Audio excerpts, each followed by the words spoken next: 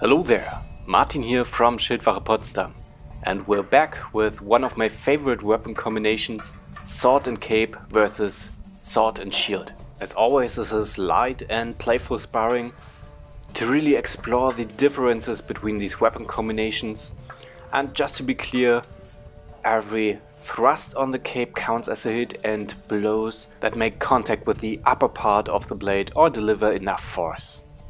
So you're already seeing why the cape is one of my favorite weapons. It's just such an active defensive implement that can also be used offensively. It's great for grappling, it's great for using it as a shield or even using it as a thrown implement to surprise your opponents. So my usual tactic at the beginning of these bouts is either to not use the cape at all to make my opponent forget that I have it, or like here, using it very actively, using all the range I can get with it to open my opponents up and use that advantage with my sword. In this bout I wrapped the cape around my arm using it like a shield, just protecting it at the wider ranges from Stefan's blows, but he does a nice counter as I engage in, pushing with his shield arm into my head and body.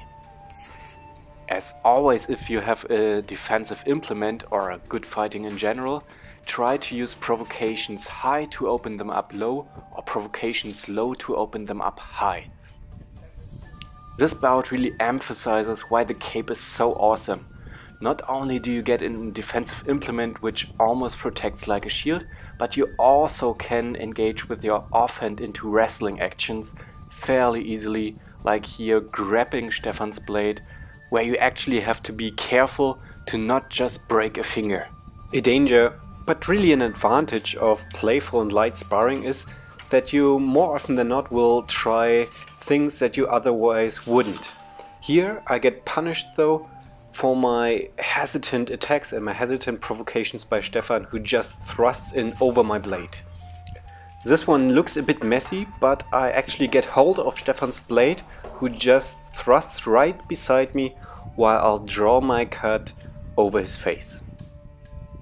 And the next one I'm a bit too overconfident though and get pulled right to into a trap where I get my blade stuck on Stefan's rotella while he draws his blade out and thrusts me with an imbroccata, so a thrust from above.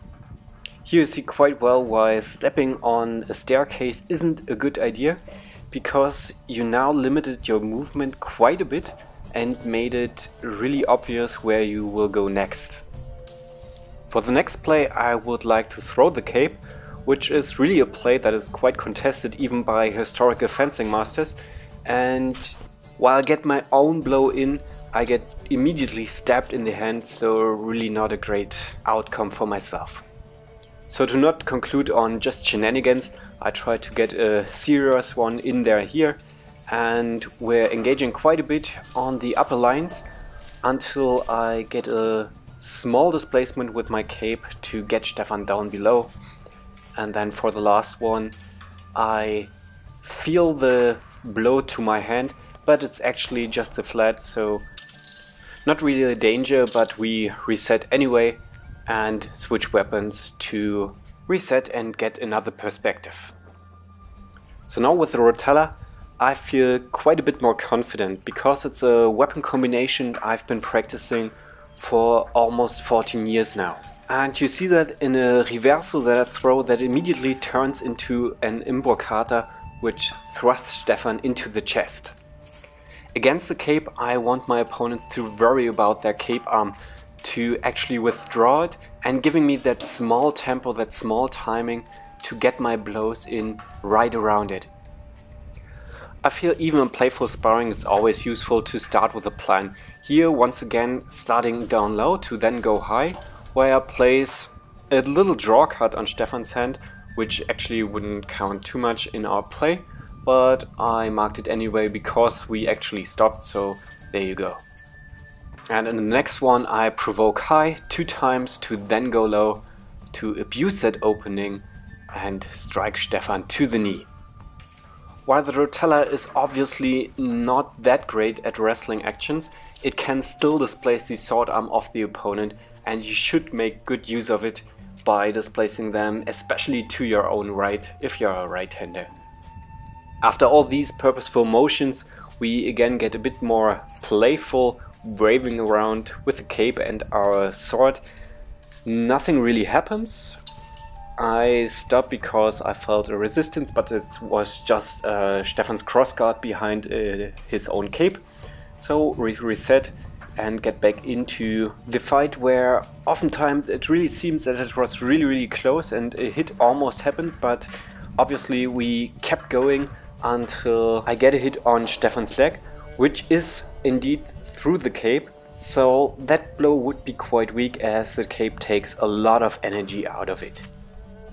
In this one Stefan and I exchange goods, while I get the cape, Stefan gets the thrust so everyone's happy. Or me at least. Grabbing the cape just with the hand without uh, throwing it around your arm is actually another thing that is quite contested even by historical masters, but you see its advantages here where my blow gets once again dampened by Stefan's cape. Against the cape you really have to take care not to get entangled so to speak by the cape, to get your sword displaced and really to have it free floating to use it as you'd like here with another Imbroccata. And there the full reverso into the Imbroccata is a really useful tool. So, Sword and Rotella versus Sword and Cape. I think it was quite a balanced fight actually, but the weapons felt a lot different. What do you think? Yes, yeah, I have to agree with this one. So um, Okay, I, am uh, way less uh, trained in cape and sword, so uh, for me there was a difference between both.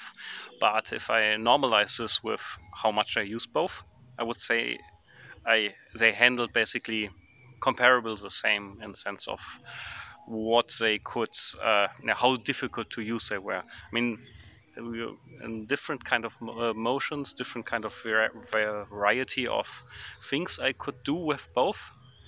So, but this compensated well, I guess. Yeah.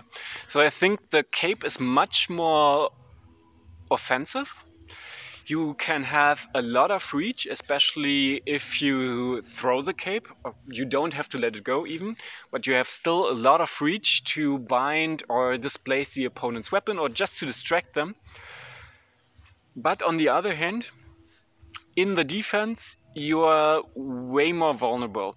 So you really want to uh, block cuts by stepping in to get them in the strong, or if they catch you with their weak, so they um, developed already the full blow, then you want to use your sword to lessen the impact, and then you can go into a wrestling action with the cape quite easily.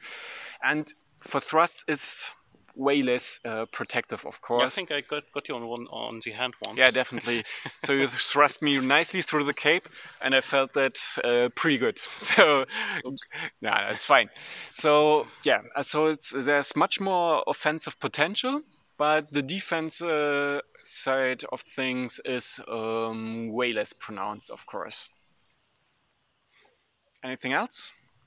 Yeah, um, I mean, it depends how you def uh, how you define defensive and offensive. So if you use this as an active defense, then it's uh, of course you can catch the incoming blow quite nicely by just throwing the cape in in the way and stuff, and then stuff gets uh, entangled, and this gives you like this few split seconds more, which you need to then get go around the shield or just make uh, get yourself into an advantage position. Yeah. So one thing with the cape and the rotella as well is it's uh, also a passive defense. So just if you like, there comes a mandrito and you go into a hanging parry and you have your cape underneath, then there's a lot of space now occupied by your weapons where the opponent can't easily just go underneath and strike you to your body or even to your legs. So this is really, really nice to have something there where the opponent can entangle your sword. On the other hand, you can also yourself entangle your sword, but that's maybe more of a thing because we're not that practiced with sword and cape yet. So we have to uh, invest way more time into sparring with the, uh, this weapon combination. So much fine weapon combination, so little time. Yeah, so I think actually Sword and Cape on the difficulty level side of things, I would almost put it on par with two swords because if you want to make good use of it and not just as a weaker rotella where it's just wrapped around your arm, then you have to be well versed in using your left uh, using your left hand offensively and also defensively, and then to in the same tempo uh, in the ideal world thrust them or strike around their defenses. Maybe it compares to the dagger when you're not versed in the dagger. So you have a weapon which can defend, but you have to use it more offensively in order to make it work. Mm-hmm. But the dagger has uh, a bit less reach, so you can get active with the cape way earlier than yeah. with the dagger, of course. Okay. So this is the summary. We hope you enjoyed this video. Remember you can uh, support us with a like, you can subscribe to the channel to get weekly videos for free. You can support us even further on Patreon. We appreciate your support there very, very much and take care until next time.